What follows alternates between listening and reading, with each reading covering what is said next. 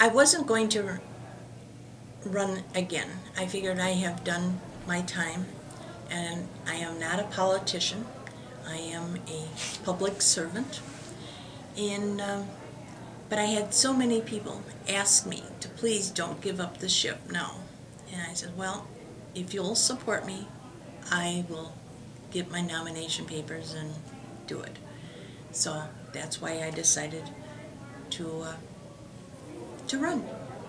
It's you know the town of Salem has been a part of my life for so long. It's like you know putting on your socks every day. So that's why I decided to run. And I, I would my my goal is we need to bring some harmony in the board. If you're in the audience, you don't want to sit up sit out there and watch five people arguing and not doing business that needs to be done. And that's got to end. So my goal is to bring some harmony back with the town board. Basically is, you know, if we have problems, and not everybody is always going to agree, and uh,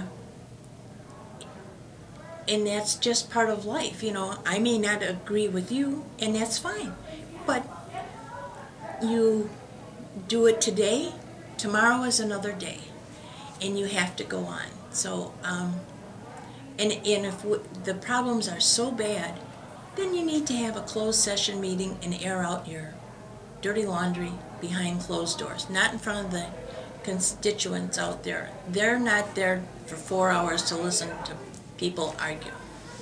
That's my my opinion, and I think that has to. Um, I mean, we used to have meetings, go down the agenda in two hours, two and a half hours, and we got a lot accomplished. I mean, there was sewers and there's um, highway and just a whole bag of different things and they were handled and everybody knew what was going to sometimes we come out of those meetings and I well now what did we really just do? Sometimes I have to ask myself, did we do that or didn't we do that? Because, you know, at 11 o'clock, sometimes, you know, the brain is starting to shut down. Most of us do, you know, start early, and, you know, my day starts at 5.30 in the morning, so by, by 11 o'clock at night, it's shutting down. And I, I just don't think we're being that productive.